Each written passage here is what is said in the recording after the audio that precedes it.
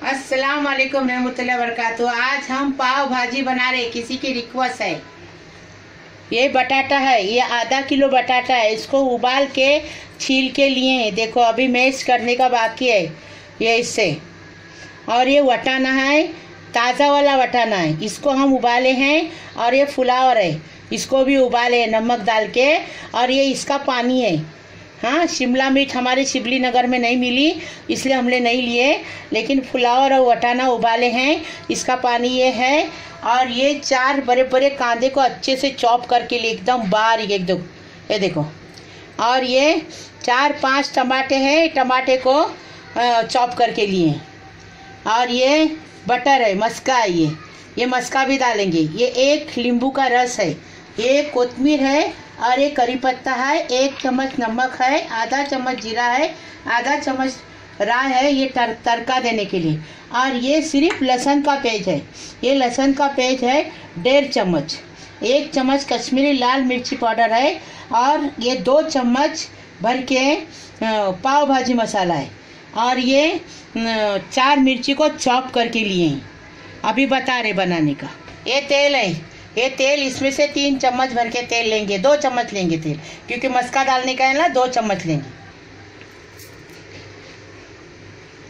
Gas चालू किए? तीन, दो चम्मच तेल डाले हाँ? अभी तेल गरम हो गया तो कांदा डाल के बता रहे आपको। ये देखो, चम, तेल गरम हो गया। अभी राय और जीरा डालेंगे पहले। राय, जीरा डालेंगे और करी पत्ता डालेंगे। ये करी पत्ता तरतर तरतर हो गया ना कि फिर कांदा डालेंगे। ये दो डाली करी पत्ता है। इसको अच्छे से भुनेंगे।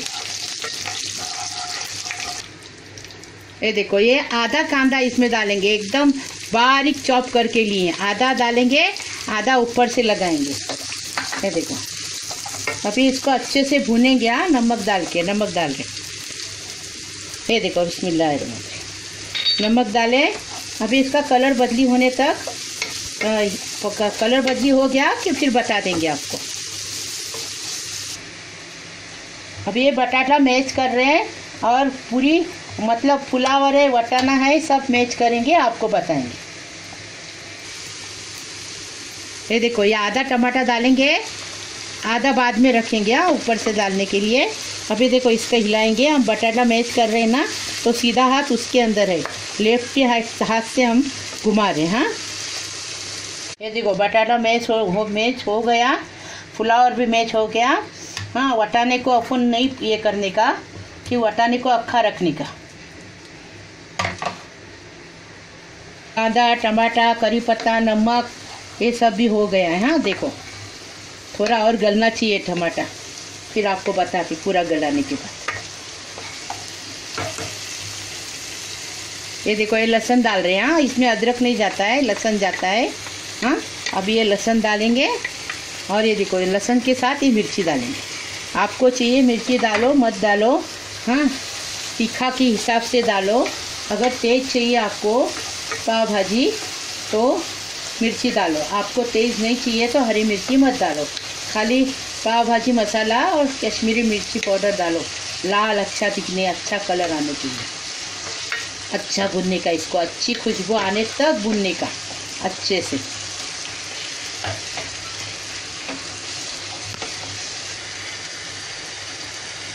अभी देखो, पाव भाजी मसाला भी डाले और कश्मीरी पाउडर भी डाले।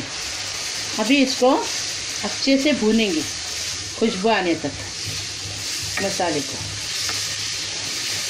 ये देखो, ऐसा भुनेंगे ना तो ज़रा टेस्ट आता है अच्छे से। फ़र्स्ट क्लास टेस्टी लगने के लिए भुनने का। आपको इतना खर्चा करते हैं, बनाते हैं तो टेस्टी लगना ज़रूरी है ना? इसके लिए भुनने का, अच्छे से बनाने का। टाइम गया परवा नहीं लेकिन अच्छा बनाने का टेस्टी टेस्टी अभी इसके अंदर हम भाजी का पानी डालेंगे। ये देखो, भाजी उबाले ना, उसका पानी डाल रहे हैं हाँ? अब ये पानी डाले।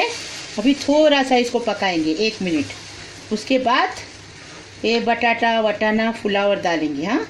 हमको शिमला मिर्च नहीं मिली। आपको मिलती है तो आप लेके आओ और बनाओ। ऐसा हमारे तरीके से शिमला मिर्च के लिए कमेंट नहीं देना, क्योंकि हमारे शिवली नगर में मिली नहीं शिमला मिर्च, इसलिए हमने डाले नहीं। आप डालो हुँ? अच्छा लगेगा, टेस्टी लगेगा, ये भी टेस्टी लगेगा, इसमें भी कोई कम नहीं होएगा, लेकिन शिमला मिर्च भी डालो। नहीं डालेंगे तो भी चलेगा। ऐसी कोई बात नहीं। अभी इसको अच्छा उबल आ गया ना अच्छा जोश आ गया देखो। बुरबुरे देखो बुरबुरे आ रहे बुरबुरे आ गए ना कि फिर वटाना बटाटा पुलाव और जो भाजी है, वो डालेंगे अंदर।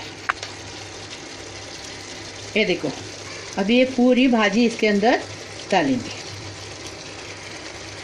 और अच्छे से हिलाएँगे, बारीक गैस करेंगे हाँ क्योंकि इसमें पानी नहीं है। तो अच्छा बारीक गैस पे पकेगा तो अच्छा लगेगा।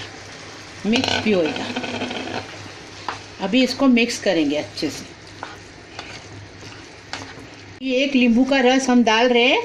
आपको चाहिए आधे डालो या और डालो, क्योंकि ये खट्टी तीखी भाजी अच्छी लगती पाव भाजी खट्टी तीखी, एकदम फ़र्स्ट क्लास लगती टेस्टी अभी हम नींबू का रस डाले, अभी हिला रहे, अभी मक्खन डालेंगे। ये देखो बिस्मिल्लाह देखे ये मक्खन डाले, फिर सब अलग से करेंगे। वो डालेंगे अलग। अभी हिला रहे मिक्स कर रहे। अभी पकने के बाद आपको बताएँगे।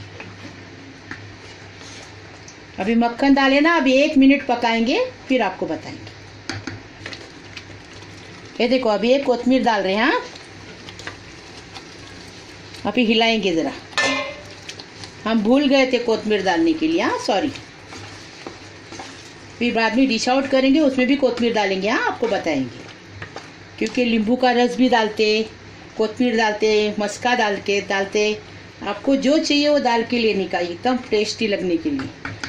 अभी इसको हम थोड़ा एक मिनट पकाएँगे, फिर बताएँगे.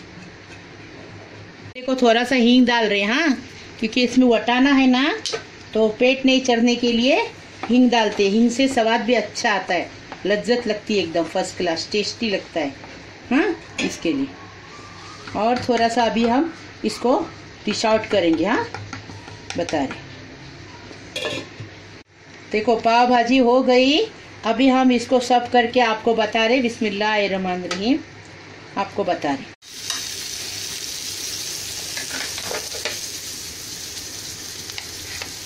ऐसा मस्के, मस्का डाल के पाव को भूनने का। हाँ तो ज़रा टेस्ट अच्छा आता है फ़र्स्ट क्लास अभी पाव को ऐसा काटने का बीच में हाँ और ऐसा फ्राई करने का। ये देखो।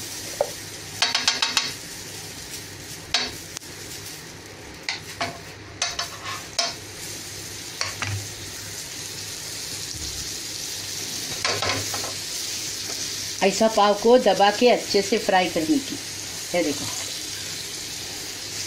तो पाव भाजी भी अच्छी लगेगी। और खोल के भी फ्राई करने की हाँ? ये देखो, पाव भाजी बन के तैयार है फ़र्स्ट क्लास मसालेदार, ऐसा बना के खाओ। अगर आपको मेरा वीडियो अच्छा लगे तो महक किचन को सब्सक्राइब करो लाइक करो शेयर करो प्लीज़